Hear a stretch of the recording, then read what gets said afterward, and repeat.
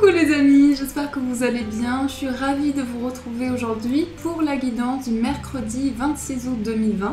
Donc on va commencer cette guidance avec le jeu de votre destin pour voir les énergies qui vont vous accompagner tout au long de cette nouvelle journée. Alors, on mélange un petit peu les énergies pour ce mercredi. On va et je vais prendre celle-ci. Alors, nous avons la carte des obstacles. Apprenez à regarder au-delà des choses négatives hein, du moment. Donc là, ça me fait penser à la carte du monde dans le petit le normand. Il y a quelque chose qui est à dépasser, peut-être aussi des choses qui sont retardées. On voit ici ces deux monts qui s'élèvent avec ce chemin au milieu. Donc cette carte, en fait, elle vous invite à voir les possibilités qui vous permettent ici de dépasser des situations de blocage. Donc il y a vraiment ici euh, peut-être aussi des choses que vous avez besoin d'approfondir en lien avec des obstacles que vous traversez. Aussi, c'est une carte qui vous invite à mettre en place de nouveaux défis.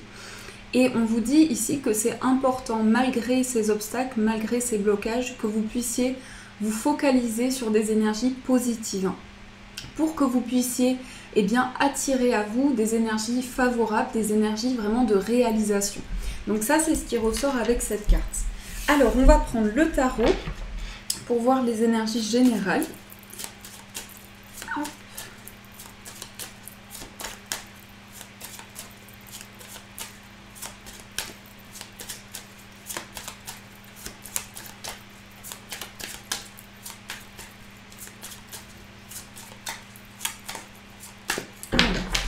je coupe.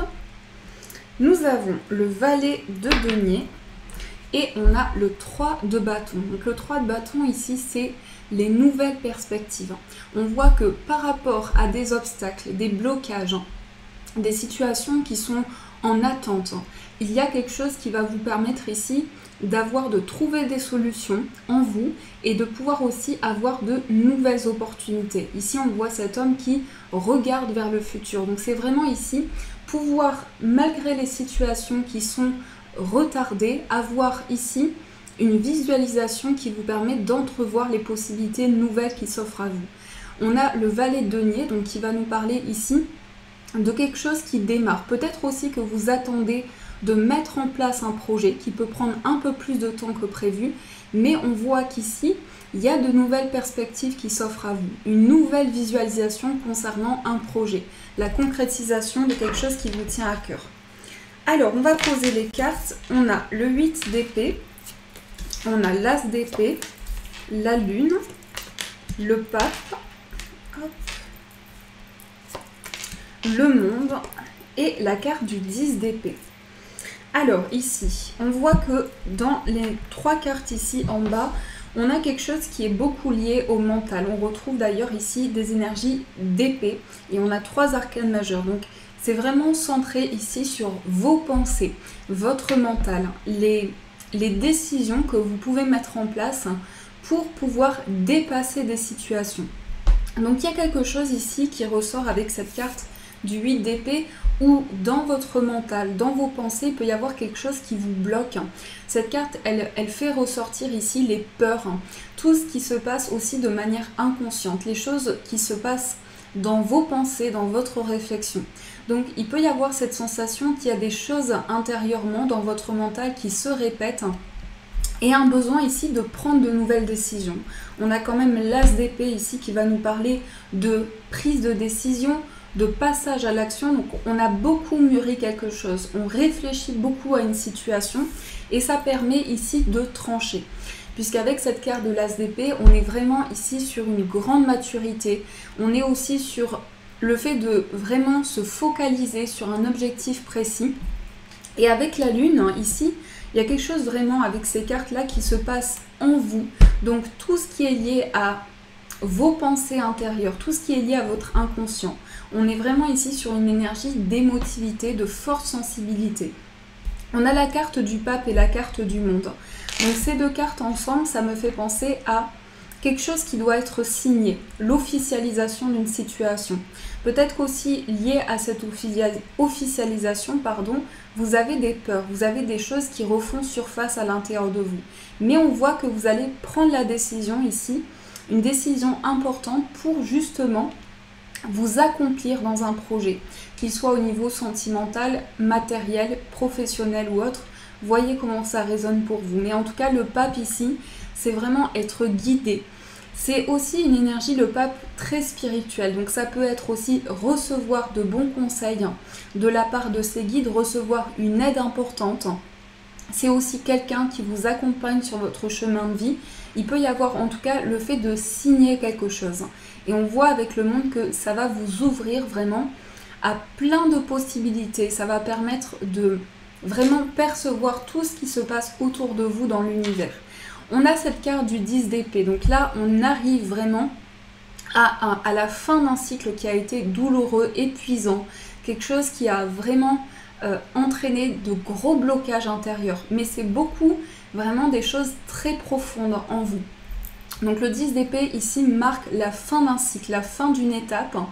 Vraiment quelque chose qui est comme la route fortune, on passe vraiment à un nouveau cycle. Et là, on met fin vraiment à des difficultés, à des, des blocages importants. Donc ça, c'est ce qui ressort pour vous. Je vais aussi compléter certaines cartes. On va rajouter une carte sur le vide d'épée, sur le hiérophant aussi.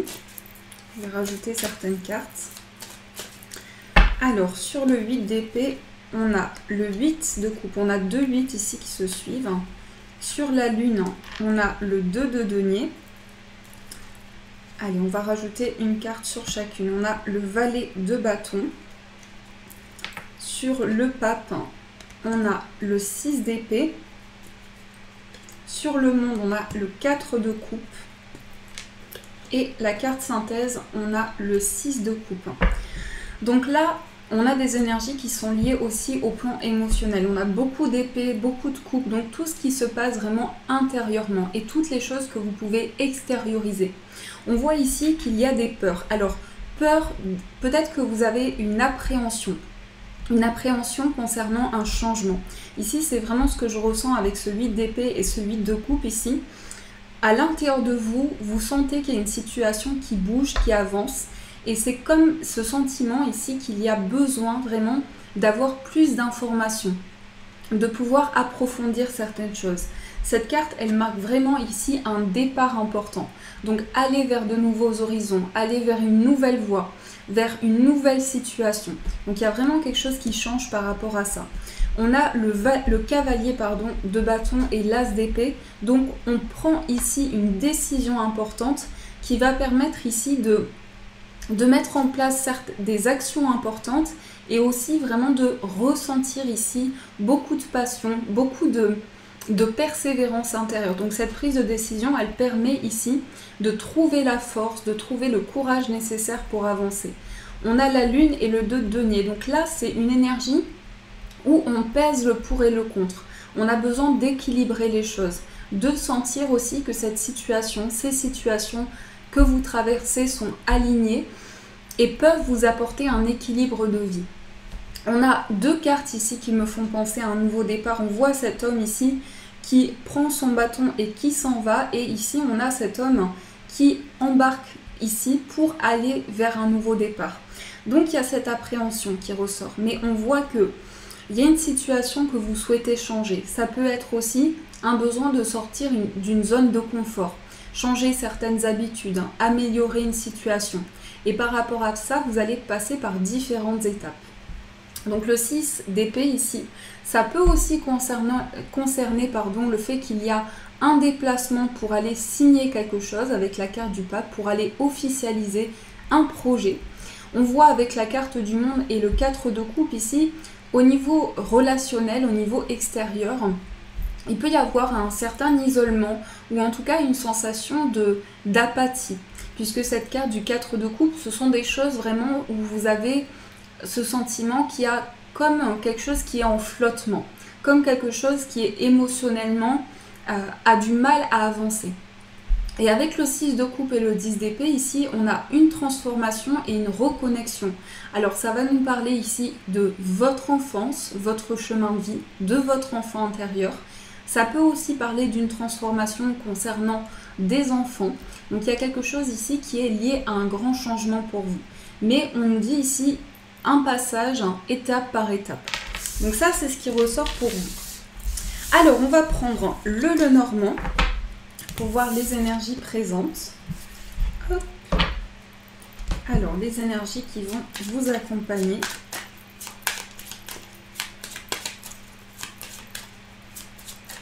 On vous invite vraiment à voir au-delà des situations qui vous bloquent. Ça peut être aussi rechercher de nouvelles solutions, rechercher de nouvelles possibilités auxquelles vous n'aviez pas pensé auparavant mais qui sont possibles pour ouvrir de nouvelles portes et accéder à un nouveau chemin. Alors, avec le petit le normand, le guide de le normand.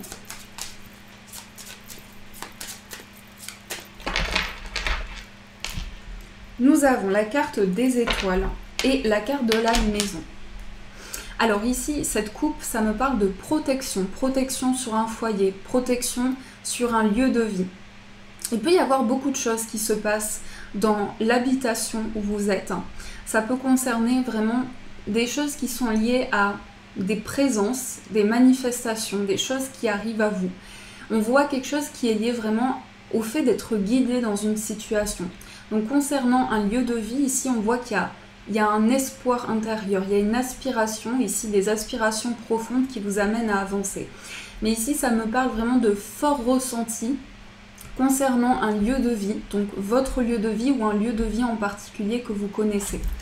Donc ça, c'est ce qui ressort pour vous. Alors, on va poser les cartes. On a la carte des nuages au centre, le bouquet, on a la faux, les étoiles, l'encre, le masque, les poissons, la cigogne et la tour. Alors ici, on a la loupe. Alors ici, il y a certaines contrariétés avec les nuages. Ce sont des choses qui, euh, entraînent beaucoup de réflexion, qui amènent aussi un besoin d'éclaircissement, un besoin de mettre en lumière certaines choses. On voit qu'il y a des choses auxquelles vous êtes attachés, qui peuvent avoir besoin d'être libérées ici, parce que cette, cette encre qui ressort ici, c'est quelque chose qui vous maintient dans une situation. Je la ressens comme ça ici. C'est vraiment quelque chose qui vous maintient. Alors peut-être aussi lié à une dépendance, lié à quelque chose auquel vous êtes accroché, mais il y a cette énergie-là où ça peut vous peser intérieurement, ça peut amener beaucoup de confusion, beaucoup de troubles intérieurs. Avec la carte de la faux, on voit qu'il y a un avancement par rapport à ça. C'est-à-dire que vous passez à l'action, vous prenez des décisions ici pour justement vous libérer de cette dépendance, de, euh, de ce qui vous accroche, ce qui vous maintient dans une situation. On voit avec la tour et les poissons ici, ce que je ressens avec la tour et les poissons, c'est un établissement, un établissement où il peut y avoir des démarches pour vous, des démarches qui sont effectuées pour une indépendance, mais aussi concernant des projets. Donc voyez comment ça résonne en fonction de votre situation, mais ici on va me parler plutôt de démarches concernant une indépendance. Ça peut être aussi au niveau professionnel. On a la cigogne et la carte du masque. Donc ici, il y a besoin d'une évolution, besoin d'évoluer concernant des projets que vous avez en tête. Ça peut aussi nous parler ici d'une évolution de vie, évolution intérieure. Mais on voit qu'ici, il y a de nouvelles choses que vous, que vous pouvez entrevoir avec la carte du bouquet et de nouvelles possibilités. Cette carte du bouquet, c'est aussi un cadeau que l'on vous offre. Ce sont des choses ici qui vous permettent d'avancer. Donc on va recouvrir aussi les cartes. Alors, je vais recouvrir la carte du masque, les nuages et la faux l'encre aussi. Alors, sur la carte du masque, on a aussi l'étoile ici qui représente l'espoir. L'espoir qui est qui vous guide, l'espoir qui vous aide à avancer. Donc sur le masque, on a les chouettes et on a le cavalier. Sur la cigogne, on a la lettre et on a le mont. Je vais juste mettre une dernière carte sur les nuages, on a la boussole et le lys, le cercueil. Sur la faux, on a la lune, l'enfant. Ah, on a l'ours et la tour. Donc là, on va me parler aussi d'une banque. Avec la tour et l'ours, il peut y avoir des démarches concernant une banque, un bâtiment, un lieu sur le plan financier, matériel. On voit qu'il y a des informations ici qui arrivent à vous. Vous allez aussi pouvoir avoir le, rapprochement d'un projet, quelque chose qui se développe. Ici, avec la carte de la cigogne et la lettre, il y a quelque chose que vous allez recevoir qui peut prendre un peu plus de retard. Puisqu'on a encore une fois cette carte du mont, cette carte du mont qui nous parle de retard, d'obstacle. Donc il y a bien une signature ici, il peut y avoir un contretemps, mais avec le trèfle, on voit que je pense que c'est pas un gros blocage. Hein. Je pense que c'est quelque chose où vous allez pouvoir néanmoins ici trouver des solutions et avoir cette nouvelle possibilité qui s'offre à vous. Donc un petit contretemps concernant la signature et un changement par rapport à vos projets. On a ici sur la carte des nuages la boussole, le lys et le cercueil. Donc ici, il peut y avoir des démarches concernant une situation de transition. Pour certaines personnes, vous avez peut-être aussi envie de changer quelque chose. Professionnellement, au niveau de vos projets, on voit qu'il y a quelque chose qui se termine ici pour une officialisation.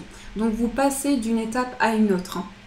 Et avec la boussole, on va nous parler ici d'être orienté orienté, besoin de trouver des réponses, besoin de d'avancer sur votre chemin de cœur. Donc il y a vraiment quelque chose ici qui s'officialise, mais qui va prendre un peu plus de temps. Mais on voit que vous allez avoir de nouvelles possibilités par rapport à ça. On a ici les chouettes ou les hiboux et on a la carte du cavalier. Donc là, il va y avoir des nouvelles. Des nouvelles qui vont amener, euh, je dirais, des discussions, des discussions approfondies, des discussions qui sont très matures, euh, et c'est des nouvelles aussi qui concernent la communication. Donc il peut y avoir des nouvelles d'une personne qui a peut-être jusqu'à présent pas manifesté ses sentiments ou ses attentes par rapport à vous ou par rapport à votre lien, mais on voit qu'ici cette personne vient vers vous pour communiquer, avoir des communications sincères et authentiques. Donc ça c'est ce qui ressort. On a eu aussi la lune et l'enfant qui vont, qui vont me parler ici de forte sensibilité. Ça ressort encore une fois, la lune était ressortie dans le tarot. Forte sensibilité, fortes émotions. Euh, se sentir peut-être aussi à fleur de peau. Puisqu'on voit avec la faux ici qu'il y, a, des choses qui sont bouleversées en vous. Avec l'enfant, on va nous parler ici de quelque chose de nouveau. Possibilité d'un nouveau départ, faire confiance à à ses, intuitions et pouvoir prendre cette décision. Donc ça, c'est ce qui ressort avec le le normand. On a quand même du stress ici qui ressort avec les souris, stress, petit tracas, une situation qui vous préoccupe beaucoup, auquel vous pensez énormément, à laquelle vous pensez énormément. On va prendre l'oracle Béline pour compléter les informations.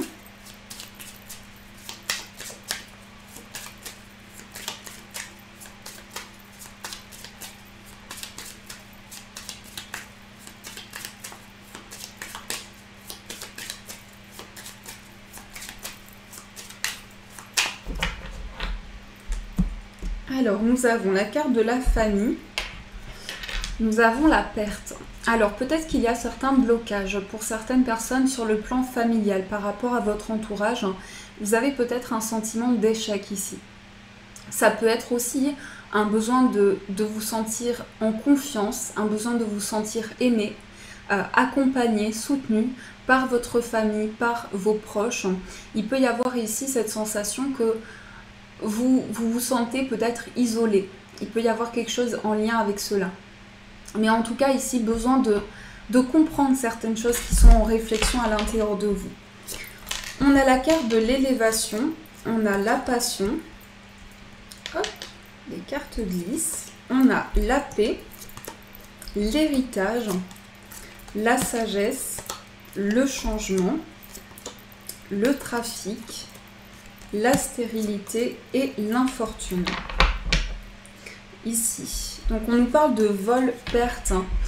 Alors ça peut être aussi des nouvelles que vous allez recevoir concernant une situation qui était bloquée. Sur le plan familial, par rapport à votre entourage, il y a des nouvelles qui arrivent à vous. Ici, on voit qu'il y a eu, oui, ce retard, hein, ce retard, et vous avez dû prendre des décisions rapidement.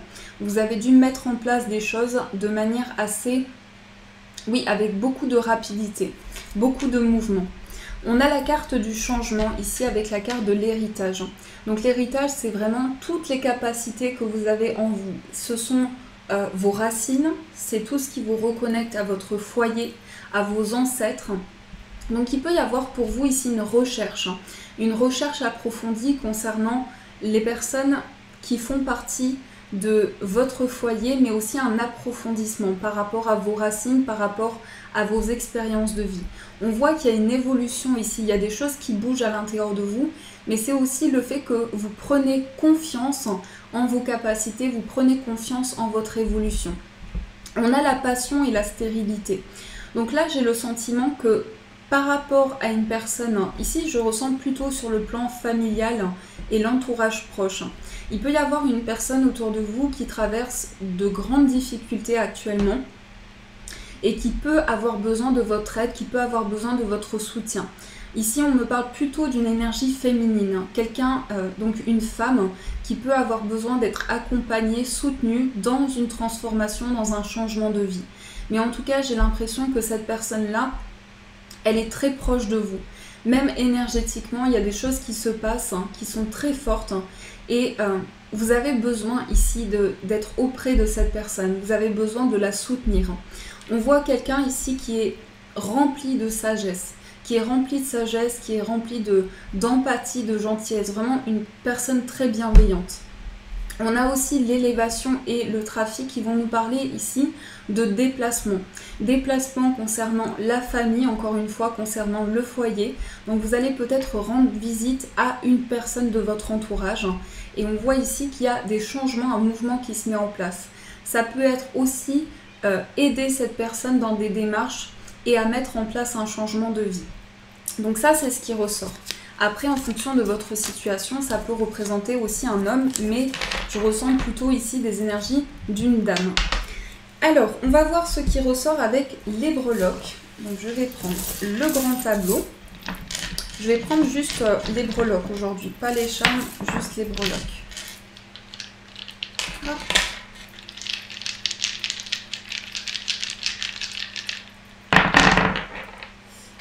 Alors, ici, nous avons ah, on a la carte de la croix qui est ressortie avec la croix.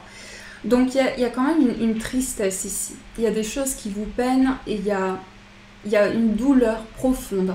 Des choses que vous avez du mal encore à exprimer. Des choses qui vous blessent.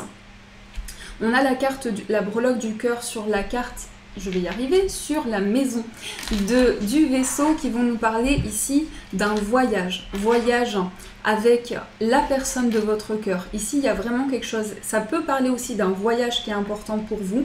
Rendre visite à une personne euh, qui, avec qui vous avez un, grand partage de grandes émotions. Il y a quelque chose ici au niveau de l'intuition. On a quelque chose ici que vous décidez. On a une prise de décision ici avec de fortes intuitions, de forts ressentis. On va nous parler aussi avec l'enfant ici d'indépendance. Donc dans votre enfant intérieur, dans vos émotions, vous avez besoin ici actuellement de mettre des projets en place. Euh, mettre aussi, régénérer les idées, les projets qui sont à l'intérieur de vous. Ici, on a peut-être aussi des discussions qui sont assez complexes hein, concernant une transformation de vie. Peut-être qu'aussi certaines personnes ne sont pas en accord avec les changements que vous souhaitez mettre en place et ça peut créer des obstacles ça peut créer des désaccords ici. On a les oiseaux avec le vaisseau et l'arbre. Donc ici, on va me parler de communication avec une personne qui habite loin de chez vous. Pour moi, c'est quelqu'un ici qui, est, qui fait partie de votre foyer. Donc quelqu'un qui peut être de votre famille ici. On a un déplacement ici. On a la tour et l'enfant. Donc encore une fois, ces, énergies-là ressortent beaucoup ces derniers jours. La tour et l'enfant, c'est une école, un établissement où il y a des enfants. Donc ça peut être aussi un projet professionnel qui vous tient à cœur, mais on a quelque chose ici lié à des démarches qui sont effectuées concernant une école, les études d'un enfant. Ici, on voit quelque chose qui est lié à l'indépendance. On a les poissons qui sont ressortis deux fois, donc beaucoup de projets pour cette journée, Beaucoup aussi de désirs concernant un déplacement, un voyage, ça peut être aussi actuellement dans vos pensées. Ici, on a cette énergie masculine où il y a une prise de décision pour dépasser des situations de blocage. On a aussi une chance concernant des solutions que vous allez trouver. Il y a des ouvertures ici qui sont favorables pour vous et il y a cette chance qui vous accompagne pour pouvoir avancer dans une situation. On a aussi l'ours. Donc l'ours qui ressort ici par rapport à l'enfant et la montagne, ça peut être ici développer un nouveau projet qui concerne aussi une stabilité matérielle, un ancrage sur le plan financier. Mais on voit ici, comme l'ours ici, dans le petit le normand, on a le mont qui est avant, l'ours après, donc les blocages vont être dépassés ici sur le plan matériel. Il va y avoir ici de nouveaux projets que vous allez avoir en tête qui vont permettre ici de trouver des solutions pour vous. Donc ça, ce sont les énergies pour vous les amis pour ce jour. On va voir aussi avec, donc au niveau sentimental, je vais prendre l'améthyste Love Oracle. Ça fait un petit moment que je ne l'ai pas utilisé. Alors, on va faire un tirage pour les personnes. Donc, au niveau général, on va voir ce qui ressort. Donc, ce premier tirage général, c'est un tirage qui peut parler dans toute situation. Et je vais aussi faire un tirage pour les personnes célibataires mais en fonction de votre vie sentimentale, de votre situation amoureuse, il peut y avoir des informations qui vous parlent dans les deux tirages ou dans un tirage plus que dans l'autre. Alors, on va faire un premier tirage général.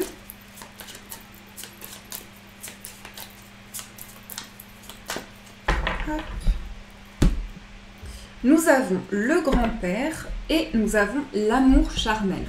Alors ici, ça me parle pour vous au niveau sentimental. Vous avez peut-être actuellement une, euh, comment dire, une connexion sentimentale avec une personne qui peut avoir beaucoup de maturité, beaucoup de sagesse. Ça peut être aussi une différence d'âge. Mais je sens, en tout cas avec cette énergie-là, qu'il y a une forte attraction. Quelque chose aussi qui est lié au plan charnel, à votre sexualité. On voit que vous avez quelque chose ici de de très envoûtant. Vous vivez quelque chose vraiment qui est euh, avec beaucoup de passion. Mais je pense que la personne de votre cœur ici est vraiment de bons conseils. De bons conseils et c'est quelqu'un aussi qui a une grande maturité, une grande sagesse intérieure. C'est aussi quelqu'un qui a traversé de grandes expériences de vie. Alors, on va piocher les cartes. Donc, au niveau général, on a l'amour véritable, la protection divine, la sagesse, la ruse, la transformation, la lune et la guérison. Donc là, il y a une énergie d'élévation au niveau sentimental. Je pense que vous laissez derrière vous ce poids, ces difficultés. On voit que vous avez envie de renouveau, vous avez envie de vous écouter intérieurement et de vraiment vous reconnecter à vos intuitions, à vos ressentis. Ici, il y a une relation qui est protégée on a une protection divine, on a beaucoup de sentiments, on a une relation qui évolue aussi de manière favorable et des sentiments qui se développent de plus en plus. Donc c'est vraiment un très beau tirage. Je pense qu'aussi, ici, je ressens cette carte de prudence plutôt dans, des peurs. Donc il peut y avoir des peurs, des choses qui se passent dans votre inconscient, des doutes que vous avez. Mais on sent ici qu'il y a des choses qui se transforment par rapport à ces doutes, par rapport à ces questionnements intérieurs que vous avez. Avec l'amour véritable, ici, on voit vraiment un amour partagé. Donc il y a vraiment quelque chose qui est serein, qui est authentique au niveau sentimental. Et on voit que dans cette relation amoureuse aussi, il y a beaucoup de maturité qui ressort. Beaucoup de maturité, donc effectivement, ça peut être aussi à travers des expériences de vie, ça peut être à travers un cheminement, mais on voit qu'il y a vraiment le fait d'avoir des communications très matures avec beaucoup de sagesse. Vous évoluez ici vers la guérison et on a cette carte numéro 1 qui ressort en carte synthèse. Donc vraiment l'élévation, l'équilibre intérieur. Pouvoir faire confiance à ses ressentis et s'élever ici au niveau sentimental. Donc vous mettez fin ici à des barrières. Vous mettez fin à des barrières. Donc peut-être que la sortie ici, ça va nous parler aussi d'être plus ouvert à de nouvelles choses de, pouvoir accueillir de manière favorable, de manière positive ici, l'énergie qui arrive à vous. Alors, on va voir ce qui ressort pour les personnes célibataires. je vais faire un tirage pour vous.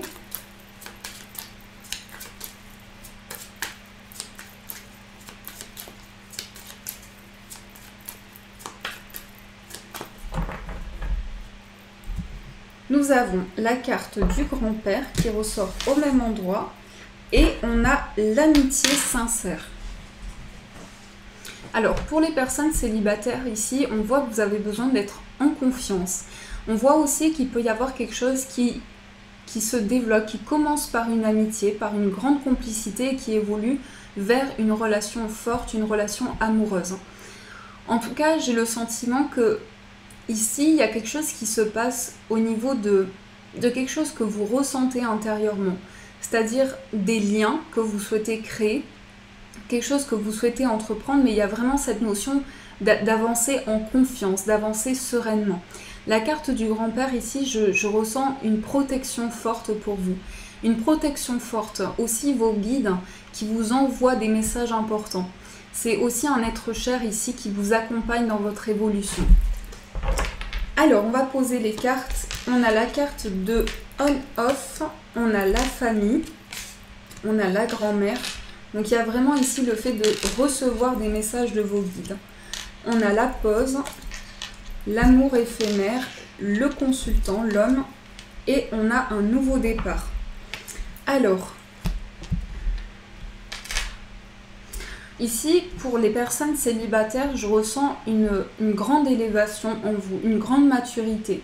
Vous prenez conscience de ce que vous souhaitez mettre en place dans votre vie amoureuse. Vous avez pris le temps de la réflexion. Vous avez pris également le temps de peser le pour et le contre. De vous poser les bonnes questions concernant votre vie sentimentale. Il peut y avoir aussi quelqu'un qui est encore dans vos pensées, quelqu'un pour qui vous avez de, de forts ressentis. Il peut y avoir cette énergie-là. Mais on nous dit ici que vous avez besoin de vous ancrer.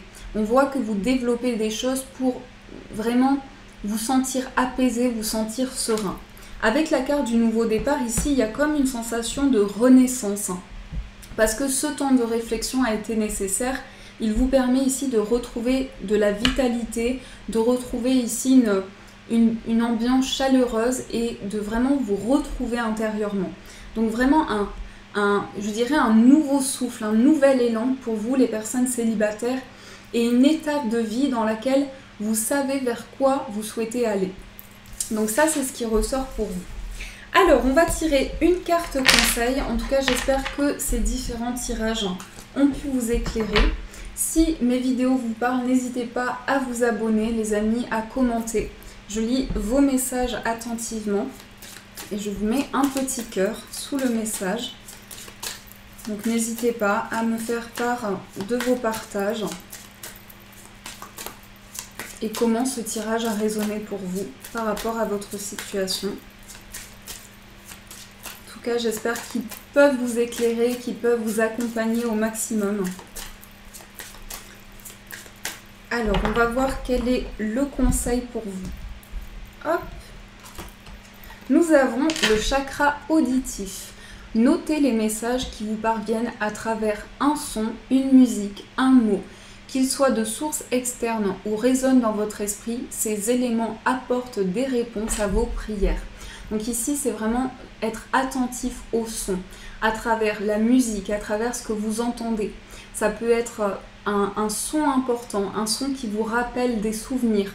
Il y a comme une énergie ici où vous allez être transporté et on voit que tout ce qui est lié à à ces messages, ces informations que vous allez recevoir passent par le son, passent par des mots, aussi par rapport à la communication. Donc il peut y avoir ici des échanges importants où justement vous arrivez à recevoir des informations importantes. On va voir aussi quel est le message. Donc on va prendre un petit cœur, donc le message de vos guides pour ce jour.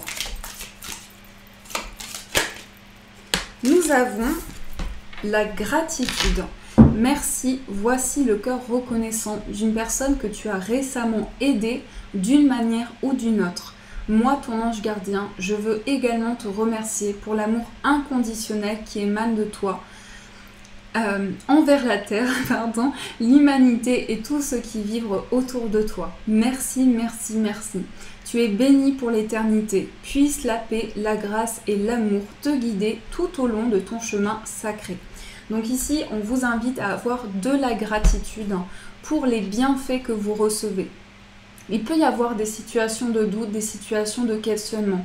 On vous invite à vraiment voir les, énergies qui vous permettent de dépasser des situations de blocage et d'obstacles qui sont sur votre chemin et de trouver la voie, le cheminement qui vous parle intérieurement, qui parle dans votre cœur. Voilà les amis, en tout cas, j'espère que cette guidance du jour a résonné à l'intérieur de vous. Je vous souhaite une très belle journée. Merci pour tous vos encouragements. De gros bisous. Et bien sûr, je vous dis un grand merci.